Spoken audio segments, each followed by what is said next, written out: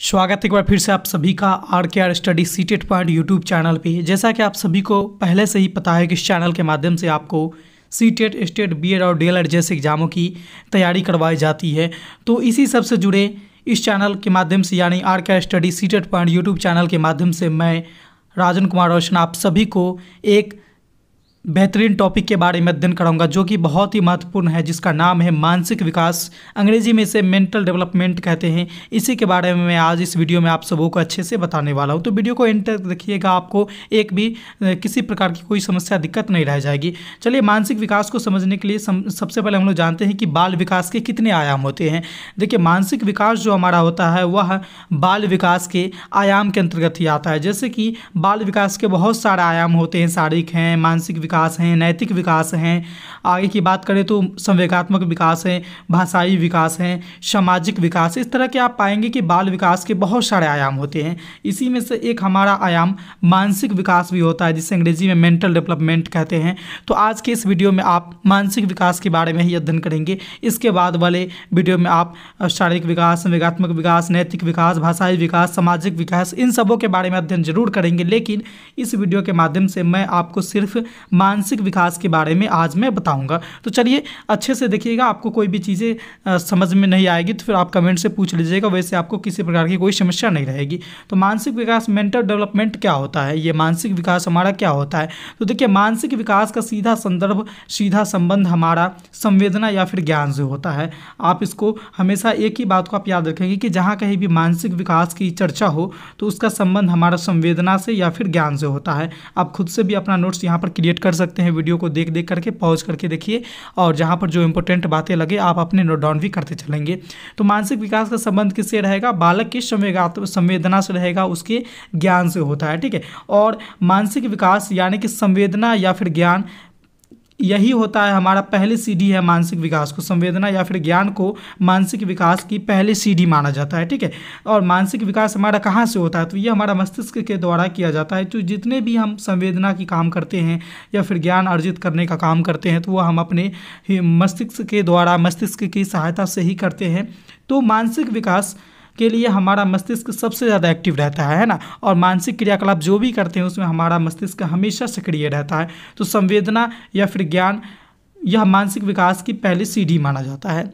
ठीक है? और मानसिक विकास के संदर्भ में हमारे जेम्स ड्रेवर, एक मनोवैज्ञानिक है, उन्होंने बताया है कि बालक के जन्म से परिपक्वता तक की मानसिक क्षमता एवं मानसिक कार्यों के उपरोत्तर प्रकटन एवं संकट, संगठन की प्रक्रिया को मानसिक विकास कहा जाता है। जेम्स ड्रेवर की आप इस परिभाषा को चाहें तो याद करके रख सकते हैं। ये आपके लिए महत्वपूर्ण होंगे कि जेम्स ड्रेवर क्या कहते हैं कि बालक के जन्म से परिपक्वता तक की मानसिक क्षमता जो होती है या फिर मानसिक कार्यों के उत्तरोत्तर प्रकटन करने की, जो संगठन करने की जो प्रक्रिया होती है, वही हमारा मानसिक विकास कहलाता है। तो जेम्स ड्रेवर के अनुसार आप मानसिक विकास की परिभाषा को भी याद रख सकते हैं। आपके लिए यह महत्वपूर्ण है। ठीक है, आगे हम बात करते हैं, मानसिक विकास, देखिए, अपने आप में बहुत छोटा सा टॉपिक है। बस इसमें आपको ये सिर्फ़ जानना है कि मानसिक विकास आखिर होता क्या है।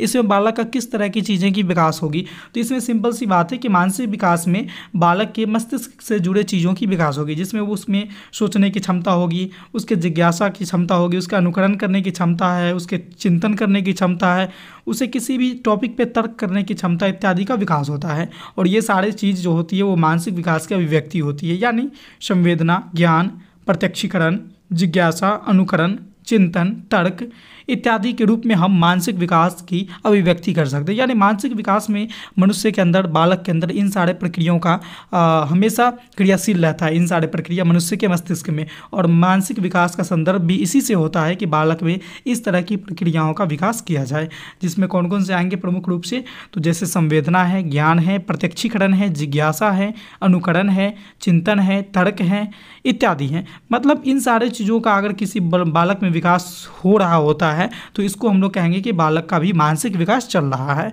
और इन सारे चीज़ों का बालक अपने स्तर से जब कभी भी प्रयोग करता है तो हम कह सकते हैं कि बालक अपने मस्तिष्क का यहाँ पर सदुपयोग कर रहा है, मानसिक क्षमता का प्रयोग कर रहा है, जो उन्होंने मानसिक विकास के दरमियान सीखा था। अब हम बात करते हैं कि मानसिक विकास को प्रभावित करने वाले कौन कौन से कारक होते हैं। कुछ प्रमुख कारक को जानेंगे जो हमारे मानसिक विकास को, बालक के मानसिक विकास को कहीं ना कहीं प्रभावित करते हैं। तो देखिए, बालक के मानसिक विकास को प्रभावित करने वाले कारक की अगर हम बात करें तो मेन रूप से हमारे दो प्रकार के कारक आते हैं। पहला हमारा अनुवांशिकता और दूसरा आता है वातावरण। देखिए, अनुवांशिकता में क्या होता है कि जो हम अपने माता पिता के गुण जो होते हैं, वो बच्चों में पीढ़ी दर पीढ़ी जाती रहती है, ये चीज़ें अनुवांशिकता कहलाती है। और इसमें क्या देखा जाता है कि माता पिता का गुण बच्चों के मानसिक विकास पर भी पड़ता है। कैसे? जैसे मान लीजिए किसी माता पिता मंद बुद्धि के हैं तो उनके बच्चे भी मंद बुद्धि के प्रायः देखे जाते हैं। मैं ये नहीं कह रहा हूँ कि सब बच्चे मंदबुद्धि के ही होंगे, लेकिन प्रायः अधिकांश तो ऐसा पाया जाता है, ऐसा देखने को मिलेगा आपको कि जिनके माता पिता मंदबुद्धि के होते हैं तो उनके बच्चे भी प्रायः मंदबुद्धि के होते हैं। तो आपने क्या देखा कि उसके मानसिक विकास को इन्होंने प्रभावित किया? कौन? तो आनुवंशिकता ने।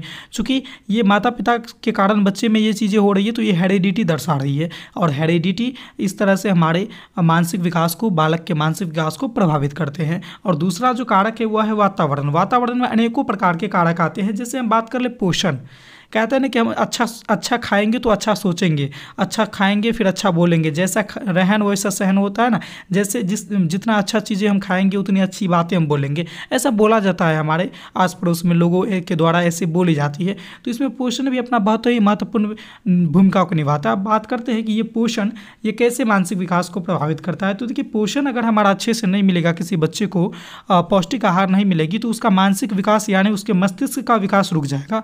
ठीक है? उसका उसका माइंड का विकास ही रुक जाएगा। तो माइंड का जब विकास रुक जाएगा, वो अच्छे ढंग से नहीं हो पाएगा तो फिर उसमें मानसिक क्रियाएँ अच्छे ढंग से कैसे होगी? इसीलिए कहा जाता है कि पोषण बालक के मानसिक प्रक्रिया को, मानसिक विकास को प्रभावित करता है। दूसरा जो वातावरणीय कारक है, वो आता है हमारा दिनचर्या, कि कब कितने घंटे सोना है, कितने घंटे विश्राम करना है चूँकि मस्तिष्क को विश्राम की ज़रूरत होती है। अब अगर हमारा दिमाग थक जाए किसी काम को करते करते तो हम अपने दिनचर्या में इस तरह की चीज़ों को शामिल करेंगे, कि मुझे इतने से इतने घंटे तक मस्तिष्क को आराम देना है। क्या है कि मानसिक क्रियाएँ बहुत ही एक जटिल क्रिया होती है, और इसमें हमारा मस्तिष्क बहुत ज़्यादा थकता है तो उसके लिए एक दिनचर्या बनाई जाती है टाइम टेबल बनाया जाता है कि कब विश्राम करना है हमें, कब हमें नींद लेना है, ठीक है? तो ये भी ज़रूरी होती है। अगर इस तरह की चीज़ें अगर किसी बालक को नहीं मिल पाती है तो आप पाएँगे कि बालक चिड़चिड़ा स्वभाव का हो जाएगा, उसके मानसिक विकास वहाँ पर डैमेज होता है। वो चीज़ों को सोचने और समझने की क्षमता को धीरे धीरे खोने लगता है। इसीलिए मानसिक विकास को प्रभावित करना है कौन कौन सी चीज़ें तो हमारा दिनचर्या और निंद्रा और विश्राम भी मानसिक विकास को प्रभावित करता है और मानसिक विकास अच्छे ढंग से हो, इसके लिए इन सारे चीज़ों का भी होना बहुत ज़रूरी है। आगे है प्रेम। जैसे किसी बालक के साथ आप कोई व्यक्ति कैसा व्यवहार कर रहा है, जैसे किसी बालक को आप दुलार कर रहे हैं, प्यार कर रहे हैं तो वो क्या है कि वो आपके साथ घुल मिल जाएगा और उसको एक अच्छा फील होगा, वहाँ पे अनुभव होगा, वो अपने आप को महत्व को समझेगा तो बालक को आप जो भी चीज़ें कहिएगा, वो अच्छे से समझेगा, करेगा, आपकी बातों को मानेगा। वही किसी बालक को बेवजह आप उसको डांटते रहिए, हमेशा उससे चिड़चिड़ापन जैसा व्यवहार को करते रहिएगा तो बालक की ये बातें उसके मस्तिष्क पर असर डालती है, उसके मानसिक मानसिक संतुलन को बिगाड़ती है। है। इसीलिए कहा गया कि प्रेम, घृणा ईर्ष्या ये सारे चीज़ें भी है जो हमारे संवेग होते हैं, इमोशन होते हैं, ये भी बालक के मानसिक विकास को कहीं ना कहीं प्रभावित करते हैं। और भी प्रभावित करने वाले कारक की बात करें तो हमारा खेल और व्यायाम। ठीक है? बहुत से ऐसे व्यायाम होते हैं जो मस्तिष्क को सुचारू रूप से चलाने के लिए हमारे दिमाग को तेज़ बनाने के लिए किया जाता है। तो व्यायाम अगर नियमित रूप से बच्चे करेंगे नियमित रूप से बच्चे अगर खेलेंगे तो खेल के दरमियान भी बहुत सारे व्यायाम होते हैं है ना? जैसे कि आ, वो माइंड वाले गेम होते हैं जैसे शतरंज की बात कर ले या फिर सुडोको वगैरह जिसमें संख्याओं का खेल होता है कि इसके जगह पर कौन सी संख्या आएगा। तो इस तरह से ये हमारा जो खेल है वह एक तरह से दिमागी कसरत है। वो हमारे दिमाग को वहाँ पर रिफ्रेश कर रहा है, व्यायाम करा रहा है। तो इसीलिए कहा गया है कि मस्तिष्क का विकास के लिए, यानी मानसिक विकास के लिए खेल और व्यायाम भी बहुत ज़रूरी होता है। अगर किसी बच्चे का ये इस तरह से मस्तिष्कीय खेल को कराएँगे किसी बच्चे को बार बार तो आप पाइए कि उसका दिमाग धीरे धीरे और ज़्यादा शार्प होते जाएगा मतलब तेज़ होते जाता है। तो इसीलिए वातावरणीय कारक में पोषण, दिनचर्या, निंद्रा निंद्रा, विश्वास, प्रेम प्रेम गिरना ईर्ष्या द्वेष, खेल, व्यायाम, इन सारे चीज़ें मिल करके बालक के मानसिक विकास को प्रभावित करते हैं। और आनुवंशिकता में तो सिर्फ़ उनके माता पिता के गुण ही प्रभावित करते हैं, जो मैंने आपको पहले बता ही दिया है। तो बस इन्हीं सारे कुछ पॉइंट्स सब हैं, जो बालक के मानसिक विकास को प्रभावित करते हैं। और बालक का मानसिक विकास कैसे होता है, क्या होता है मानसिक विकास में, किस चीज़ का विकास होता है, इसको आपने बहुत ही कम समय में बहुत ही अच्छे ढंग से समझा है। मैं उम्मीद करूँगा कि आपको यह टॉपिक बहुत अच्छे से समझ में आ गई होगी और आपको ये आने वाले एग्ज़ाम में उपयोगी भी रहेगा। तो इसी तरह के और भी रोचक वीडियो देखने के लिए आप बने रहिएगा हमारे चैनल के साथ। चैनल का नाम है R K R study CTET point तो इस वीडियो में इतना ही था। फिर मिलते हैं अगले वीडियो में नए टॉपिक के साथ। तब तक ले देखते रहिए हमारे channel R K R study CTET point को। धन्यवाद।